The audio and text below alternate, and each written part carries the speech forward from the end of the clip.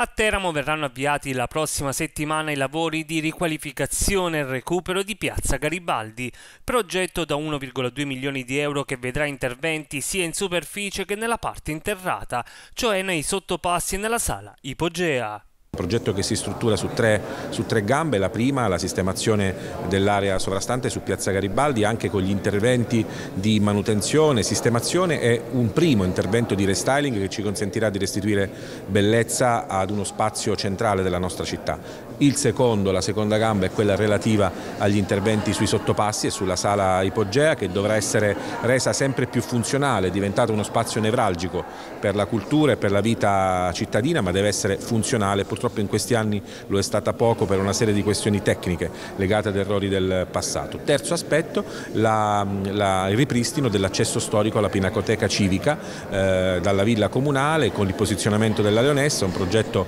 è una parte di progetto che ha voluto fortemente eh, l'assessore di, di Bonaventura, dobbiamo spingere proprio nel ripristino di questo legame storico tra la villa comunale, la Pinacoteca, eh, la Pinacoteca civica, valorizzazione ambientale e culturale della nostra città. Da domani domani 2 luglio invece inizierà l'installazione del cantiere che comporterà modifiche al traffico sull'area della piazza. Le novità causeranno in modo inevitabile dei disagi cittadini e probabilmente rallentamenti alla circolazione. Sì, da domani, da, diciamo dalla prossima settimana inizierà l'operazione di cantierizzazione di piazza Garibaldi, la ditta inizierà a posizionare New Jersey con un restringimento proprio della carreggiata, della fruibilità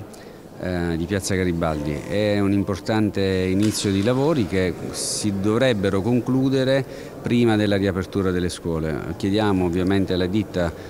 un'imponente messa a disposizione di lavoratori e di mezzi per poter fare più velocemente possibile, ma la velocità non si deve accoppiare ovviamente alla qualità dei lavori, perché la cosa più importante è eliminare una volta per tutte le problematiche di infiltrazione sia sotterranea che di superficie dell'acqua piovana. Questo è l'obiettivo che ci eravamo prefissi, insieme a questo la riqualificazione dei sottopassi pedonali che saranno poi restituiti alla città, speriamo una volta per tutte, senza problematiche di distacchi, di intornaci e quant'altro.